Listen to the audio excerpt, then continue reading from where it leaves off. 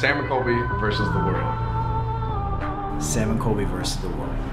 Sam, do you think I look good? You look beautiful, honey.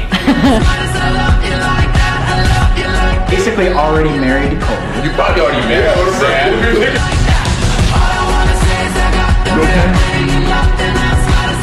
you down I to just- play me later? I'm down to play you anyway. Yeah, I love when he calls me that.